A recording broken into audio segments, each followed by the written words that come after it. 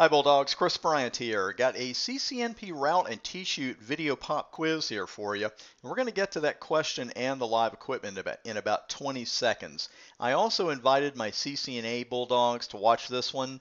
Uh, it's a good practice exam question for you, but it's a good example of what I call a 3-in-1 or 4-in-1 question where there may just be one answer, but at the same time, there are three or four different things you got to know to come up with that answer.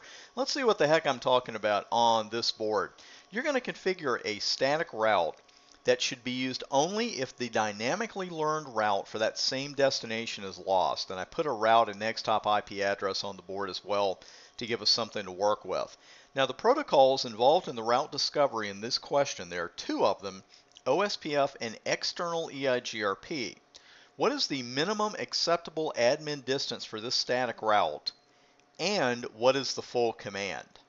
I'm going to bring the live equipment up and demo the full command in just a moment. But what we're talking about here is a floating static route.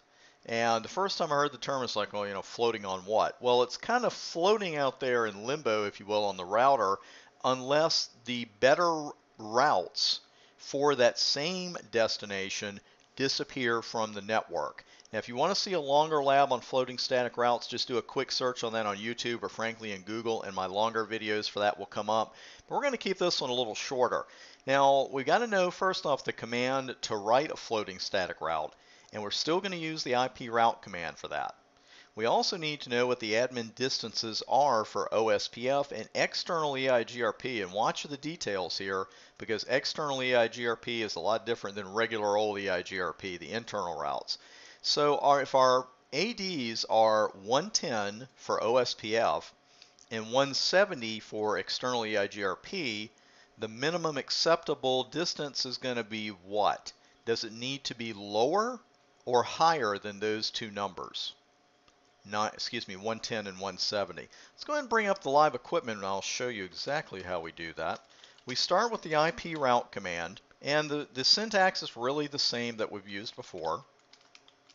And we're going to use the slash 25 4 network there. And we've got the option here at this point, of course, next hop IP address or local router exit interface. And I believe it was 172.12.123.2. It was. So, so far, it's just a normal static route.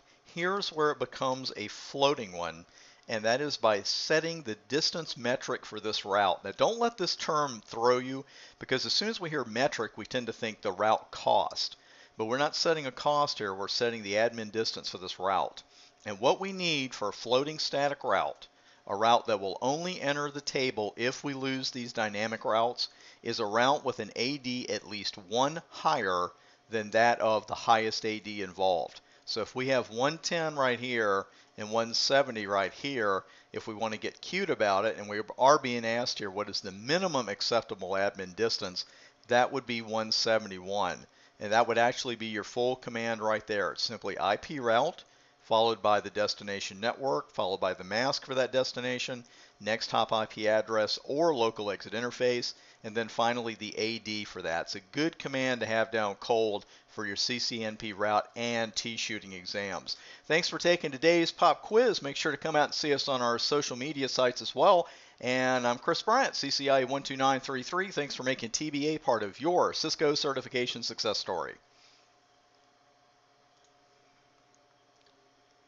See, I knew it was there.